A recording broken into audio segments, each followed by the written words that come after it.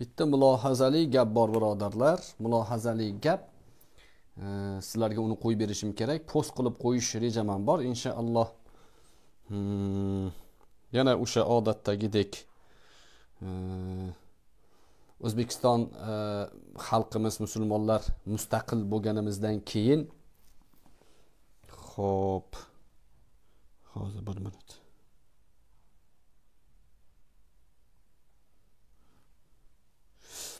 Mustaqil bo'lganimizdan keyin diniy idoradagi islohotlar e, diniy idoraga shayx muhammad sodiq muhammad yusuf rahimaullohning muftiy bo'lishlari keyin shu muftiyliklari orqasidan klanlar harakatga kelib e, toshkentni o'zida e, toshkentni o'zidan fitna qo'zg'ashga harakat qilgan beshta o'nta baxti qaro odamlar bir o'yinlarni qilishgan edi. Musulmonlarning Э, asl harakatlariga ilmiy э, ya'ni э, inqiloblariga to'sqinlik qilishganini ular o'sha diniy idorani ishg'ol qilishib hasti imomga to'planib olishib shariat e, islom niqobi ostida allohu akbar zikri e, e, ya'ni kisvasi ortida kamuflyaj bilan ko'p musulmonlarni boshini aylantirishgan.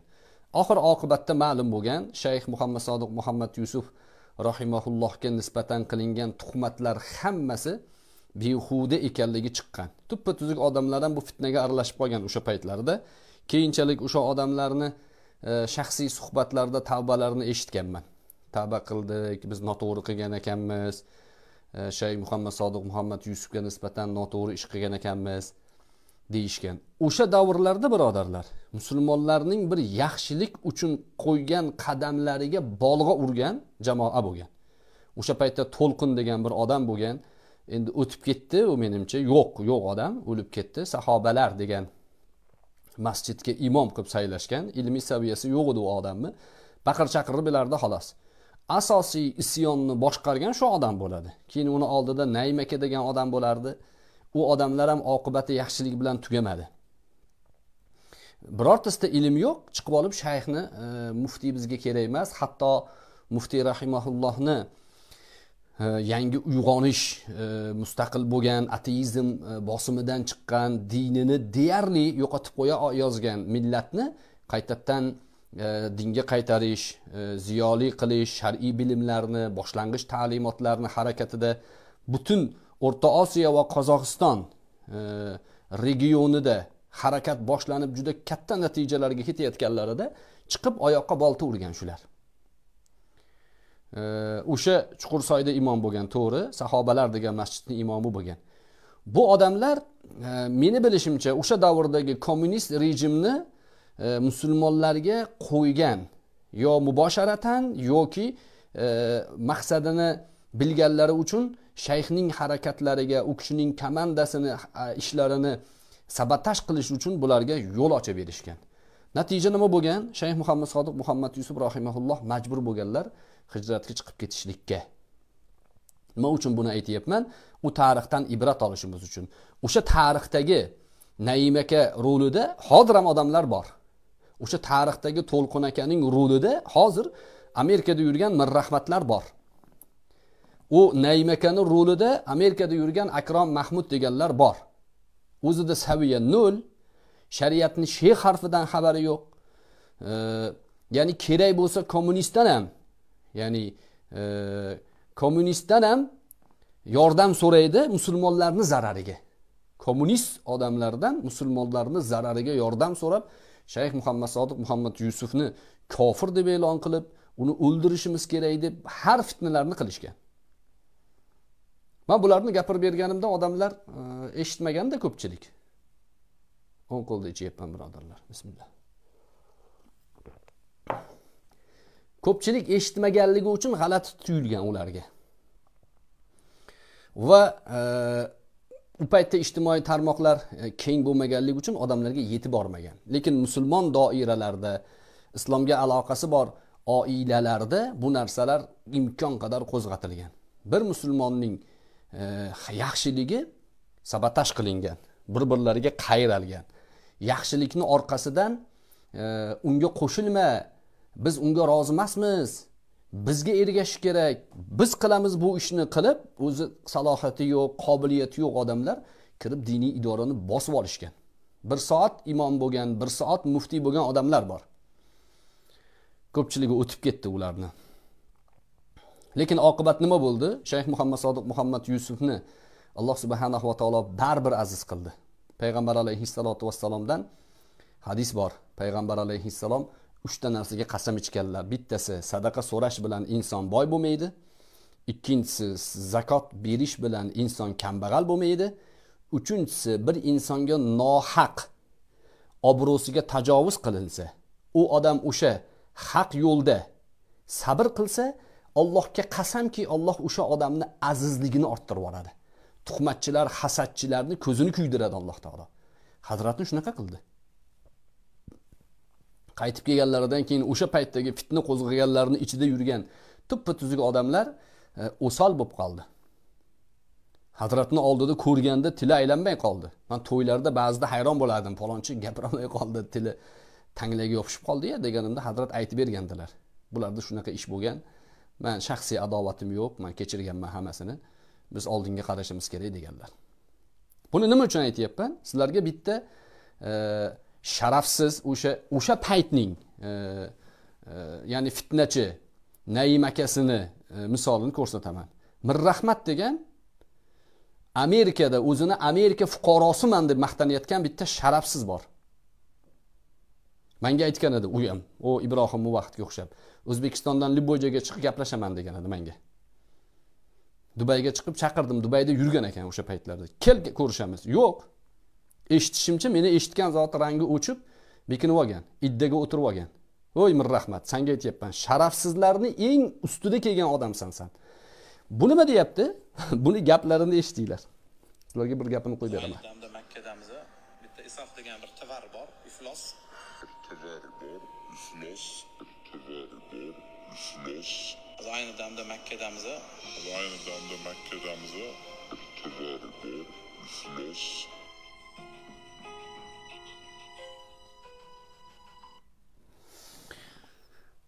damda deyapti makkadan turib ramazon kunlari edi menimcha makkadan turib yana soatni tagidagi gostininsadaman deyapti u haramni hududiga kiradi nabiy sollallohu alayhi vasallam hajjatul vadoda butun insoniyatga qarab musulmonlarga qarab aytganlar.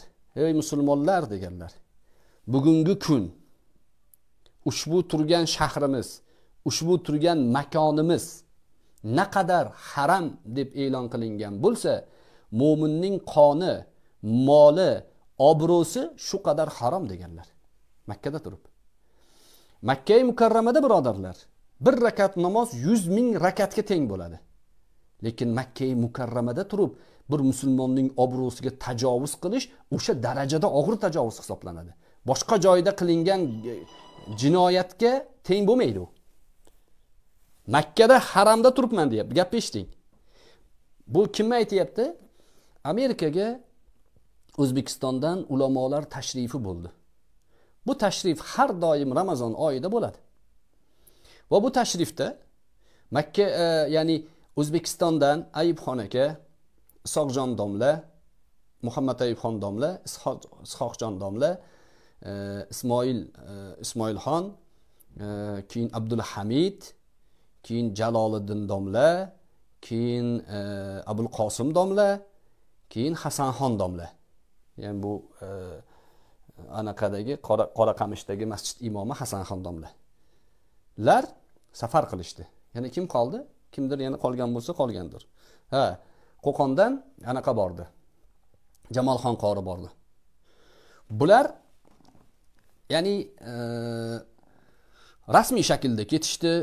E, bularni u yoqqa borishligidan ko'zlangan maqsad musulmonlarning o'rtasidagi uquvvatni birlashtirish kuchaytirish.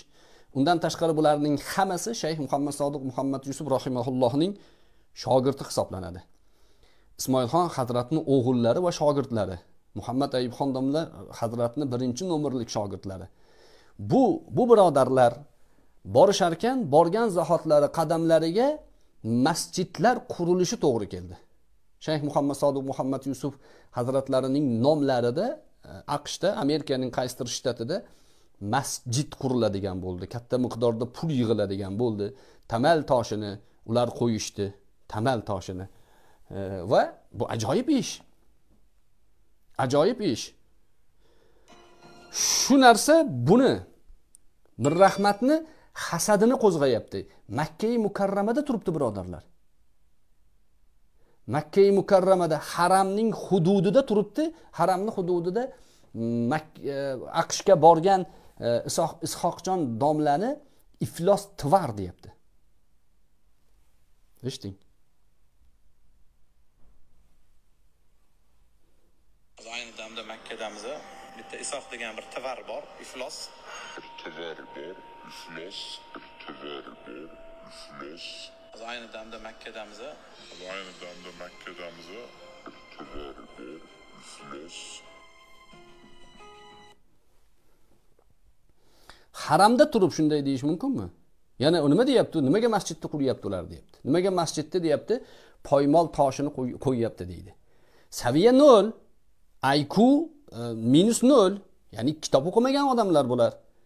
Tamal toshi degan jumlani bilmayapti. Poymol toshi deb qo'yyapti. Ho mir rahmat. San oldin kitob o'qi. E zotan san kitob o'qimaganing uchun shunaqangi sharafsiz haramning hurmatini bilmagan musulmonning sha'niga tilingni uzatadigan e, imom navoviy aytganlar. Imom navoviy musulmonlarning sha'niga til uzataveradigan odam til uzataveradigan odam e, o'lar paytida kalimadan to'siladi deganlar telegramda eshitilmayaptimi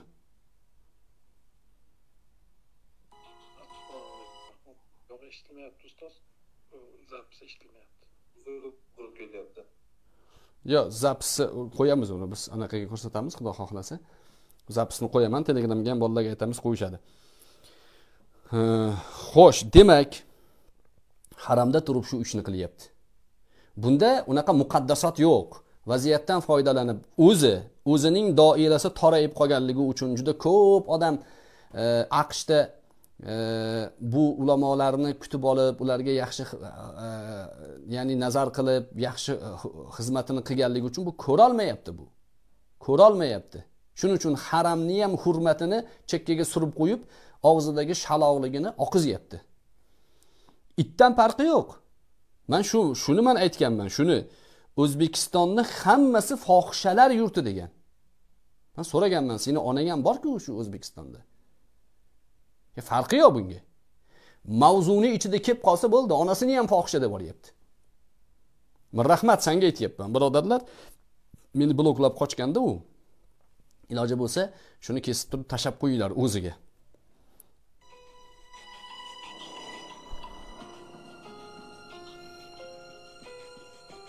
Faqat mani fikrim emas. Bu amerikadagi tavhiddan vijdondan e, insofdan xabari bor musulmonlarni gapi bu faryodi. Endi keyin bu gapni gapirar ekan bu meni gapim emas deyapti. Amerikadagi tavhidni biladigan shariatni biladigan vijdonni biladigan odamlarni man vakiliman degan gapni gapiryapti.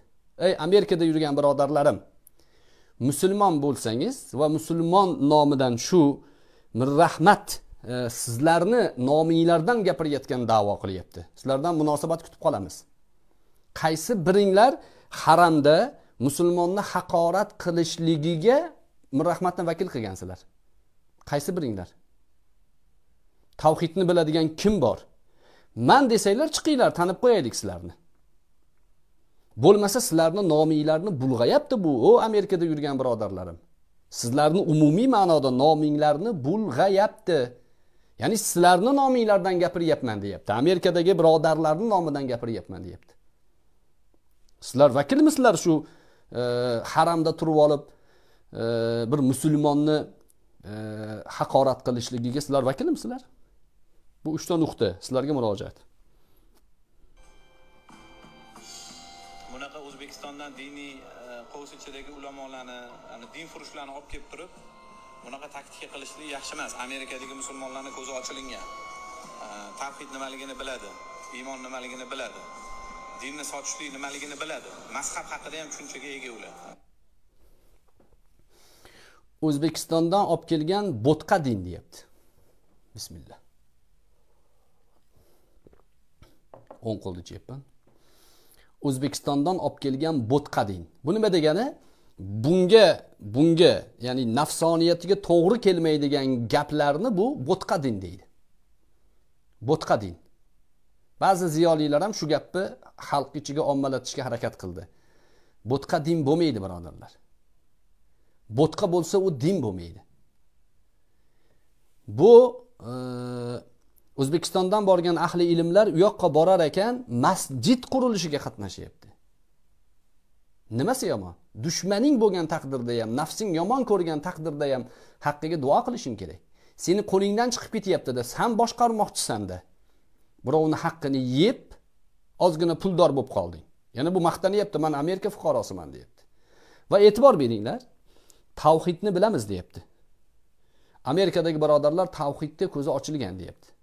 Vijdonni biladi. Dinni qanday sotishni biladi deyapti. Jumla tuzishlarda mana shunaqangi buni e, mol pahmligi bor. Amerikadagi birodarlarni dinni qanday sotishni yaxshi bilishadi deyapti. O'zi asli bu jumlani aqli dono odam e, to'g'ri tushunib oladida aqli dono odam aytadida e, ya'ni o'zbekistondan borganlar dinfurush dinni sotgan demoqchi. Lekin jumla tuzar ekan amerikadagi birodarlar dinfurush demoqchi deb qo'yyapti o'zi bilmasdan.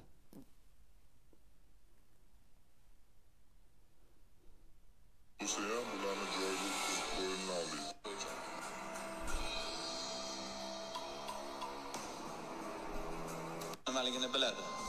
Dinni sotishlik nimaligini biladi. Mazhab haqida ham tushunchaga ega ular kerak bo'lsa shaxsan kongressga xat yozib bo'lsa ham bularni joyiga o'tkazib qo'yilina oladi qonun bo'yicha. Boshqatdan kirib chiqasizmi ovozim yaxshimi? Yo'q uzr uzr kelyapti. Yo to'xtab turinglar unda kimdir telefon qildi telegramdan hozir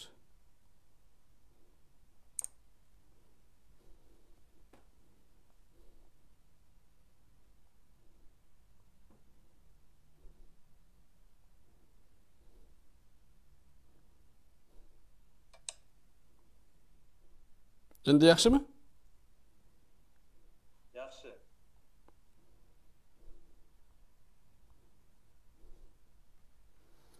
Xo'p.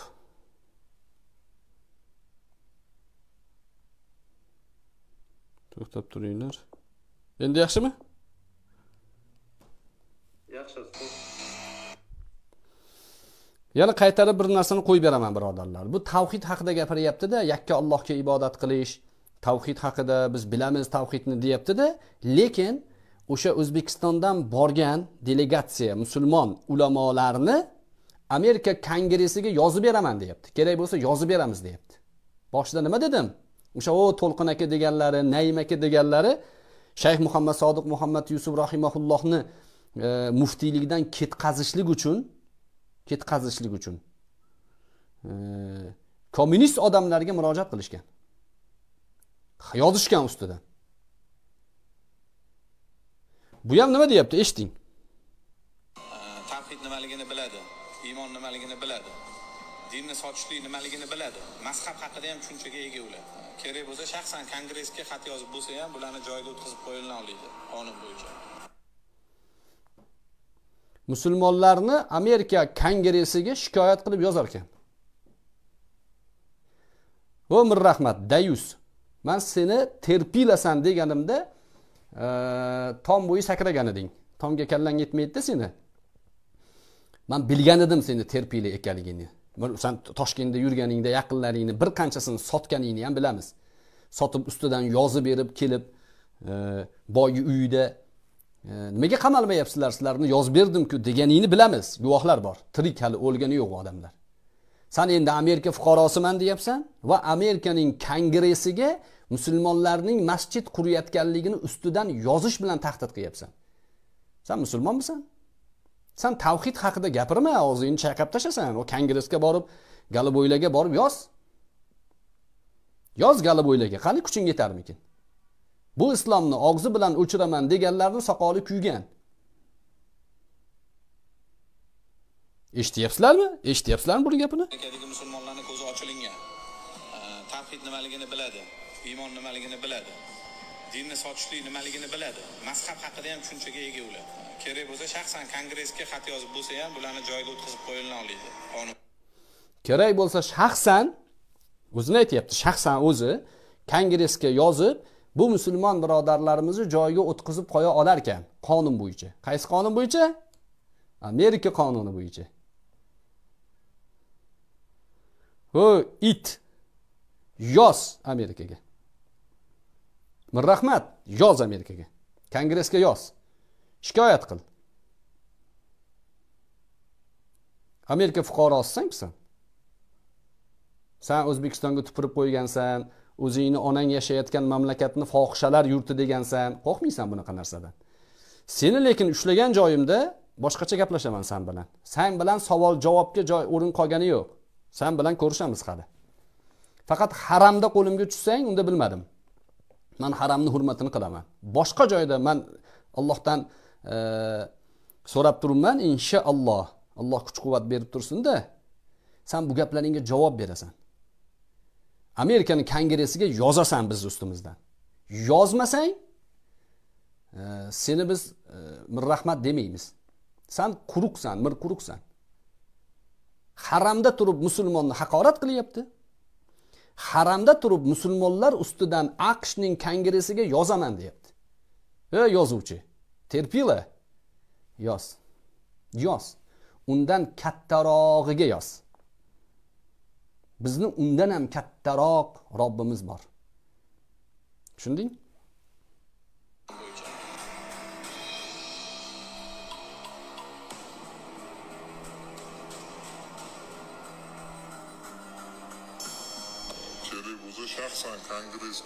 Yozib bo'lsa ham bularni joyiga o'tkazib qo'yiladi qonun bo'yicha rozi bo'lasizlar shuni menga omonat deb aytishganligi uchun birodarlarni nomidan shu narsalarni aytib qo'ydim. Mana shu oxirgi gapi amerikada yurgan birodarlarimizga murojaat. Sizlarni nominglardan gapiryapti ekan. Kim? Amerikada yana mirrahmatni qo'llab quvvatlayotganlar kim? Bu murojaatimizni man musulmonlar nomidan aytyapman. Bu yolg'on gapiryapti. Amerikada bunaqa vijdonini sotib yuborgan musulmonlar deyarli bu darajada iflos musulmonlar yo'q. Meni bilishimcha. Bu faqat o'zini gapini o'ziniki mast qilib ko'rsatish uchun manga shunaqa yozishdi omonat deb aytishdi deyapti. Agar aytgan bo'lsanglar chiqinglar safiylarni belgilanglar kongressga yozishlikni sizlar aytdinglarmi? Haramda musulmonni haqorat qilishlikka sizlar vakil qildinglarmi buni? O'sha joyda masjid qurilishiga qarshi chiqishlik unga pul berganlarni norozi deb e, e'lon qilyapti. Amerikada erkak kishi bo'lsa bunga bundan so'ranglar spros qilinglar sizlarni sotyapti. Man biroz qo'pol gapirdimda erkaklar bor amerikada. Aqshda yurgan musulmonlar. Sizlarni nominglardan bu o'zining jinoyatini legallashtiryapti. Lekin e, inshaalloh bir bir munosabat qilib chiqasizlar. Amerikada yurganlar agar mirrahmat bilan sherik bo'lsanglar indamanglar. Sizlarni murojaatinglar yo'qligidan bilamizki sizlar mirrahmat bilan sheriksizlar. Imkoniyat topganinglar munosabat bildirib qo'yinglar. Yo komment yozib qo'yinglar yoki mirrahmatga aytinglar. San kimni nomidan gapiryapsan? Kimni nomidan haramda musulmonni haqorat qilishlikni vakilligini kimdan olding man bermadim masalan deb aytishinglar kerak amerikani sotyapti bu. Amerikada yurgan musulmonlarni sotyapti kongressga yozamiz deyapti shaxsan kongressga yozib Kongre- amerika kongressi galiboylikni butun dunyoda targ'ib qilayotgan iroqni vayron qilgan afg'onistonni yigirma yil bosqin qilgan suriyani xonavayron qilgan amerika kongressiga yozar ekan va sizlar vakil ekansizlar amerikadagi birodarlar. Vijdoniylarni vijdoniylarni oqlab olinglar birodarlar. Sizlarni sotyapti sizlarni nominglardan foydalanyapti. Xuddi shu ishni to'qson ikkinchi yilda qilgan to'lqin degani qilgan nain degani qilgan o'sha paytda qilgan. Va ularning oqibatini yaxshi bilamiz. Chechenistonda o'ldi o'ldi degan gap chiqarishganda menimcha unaqa ham emas u. Menimcha o'zi agent bo'lgan u odamni o'zi agent bo'lgan. Ishlatishgan ishlatishgan keyin berkitishgan boshqa tomonga o'tkazishgan u odamni. Mana bu mana shu rahmatlar bugungi version yangi version. Hmm, shuni aytib qo'yay dedim. Suhbatimiz biroz e, tanqidiy jarayon bilan boshlandi. Endi savol javoblarga o'tamiz birodarlar.